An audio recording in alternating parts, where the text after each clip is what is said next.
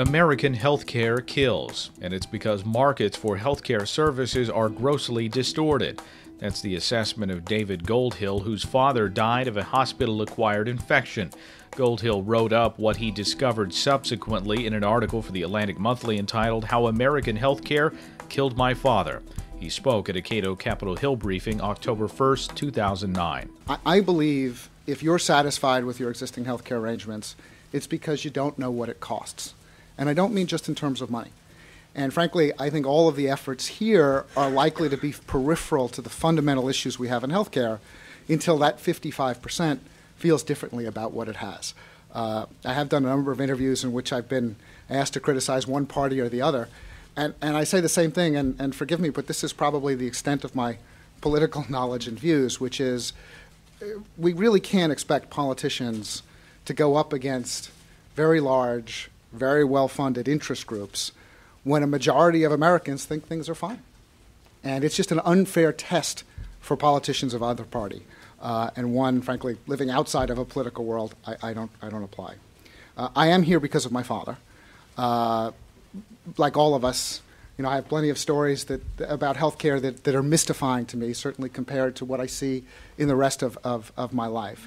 Uh, but specifically, my deep interest in this began with what happened to my dad. Uh, a couple years ago, my father, uh, working frankly up to the day this happened, walked into a hospital with a fairly mild case of pneumonia. He was an 82 year old man. He turned 83 in the hospital. Um, variety of ailments that you see in 82 year old men. Uh, I didn't expect him to live forever, forever, and I don't think he expected it either. He was a physician. Um, he was in the hospital less than two days before he'd contracted sepsis, and over the course of the next five weeks, he had a variety of secondary infections, and by the time he died, uh, that original pneumonia was long gone, uh, and he died from uh, a variety of infections he'd picked up in the hospital. Um, like most of us, uh, at the time I wasn't really aware of what was happening. Uh, you see your father, a loved one, getting sick and getting sicker. It's a concern, and you're dealing with it obviously on a moment by moment, reactive basis, the same way, frankly, that the hospital deals with it. Um, but uh, my sister's an emergency room physician, and so she had much greater perspective on it. And then uh, I think it was literally two weeks after my father's death, uh, I read this article in the New Yorker uh, by Dr. Gawande, in which he talked about preventable hospital infections.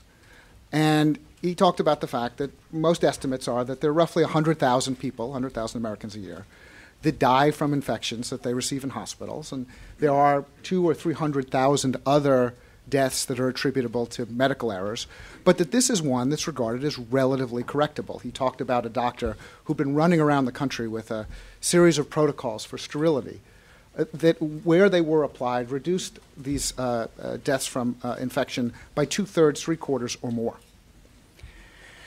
And I think, you know, like, like most people at that point, living in, in, in, in grief and loss, uh, I was I was you know angry and, and looking for someone to, to, to, blame. I think all of us from that position when these things happen. But there's a there's a light bulb that went on in my mind, which is, you know, I've run a series of consumer-facing businesses, and uh, a lot of my friends run businesses. hundred thousand deaths from something that's preventable.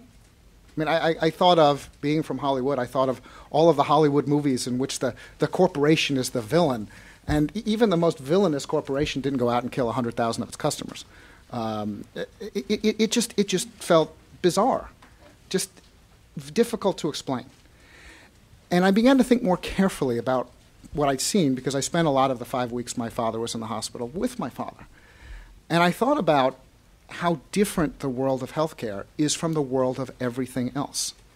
Uh, and, and, and what I want to talk about today is is that the nature of healthcare? Or is that something we have created because we believe healthcare is different?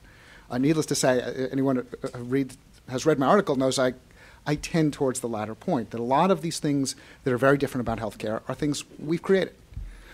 How do you see it as a customer? Well, one thing you see, which is astonishing, is you see this extraordinary diagnostic equipment coexisting with a type of information system that I haven't seen maybe since the DMV in the 80s.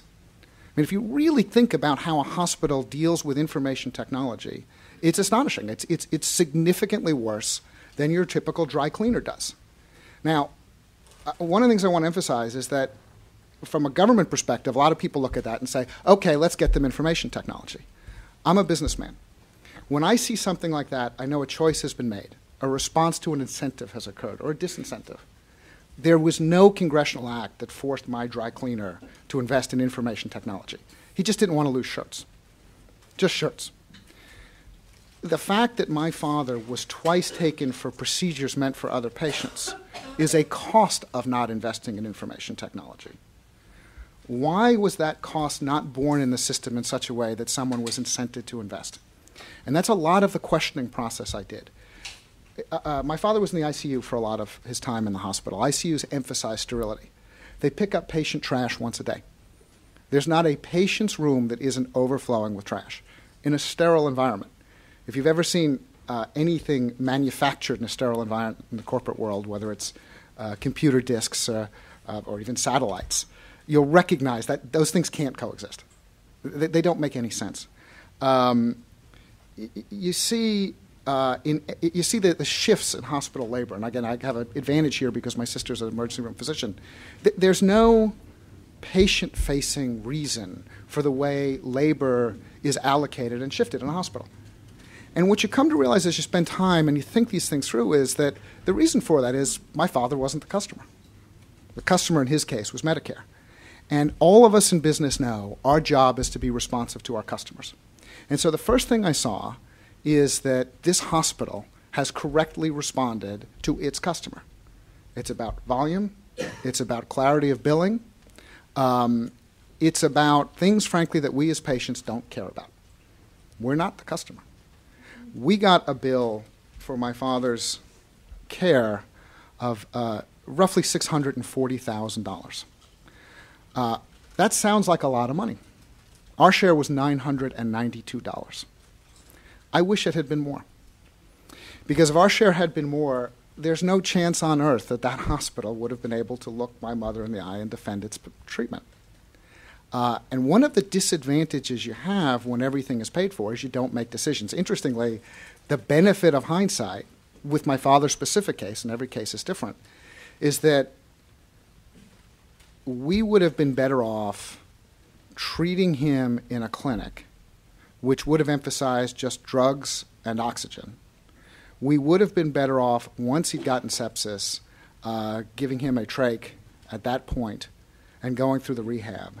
We would have been better off with cheaper alternatives, not in terms of money, because we didn't pay anything, but in terms of the quality of care.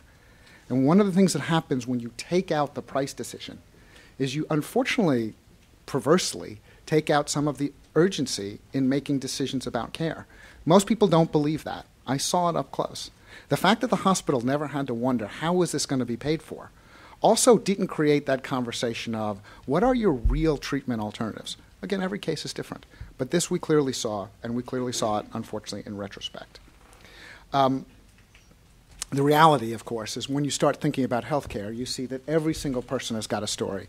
Some are less tragic than my father, although I'll tell you, at 100,000 people a year, the number of letters I get since I wrote this article from people who've experienced this, often in very similar, in some cases even more negligent circumstances, uh, is extraordinary.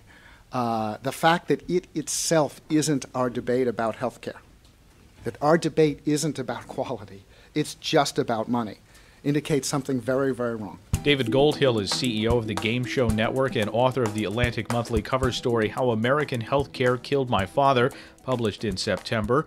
You can watch the full event at cato.org.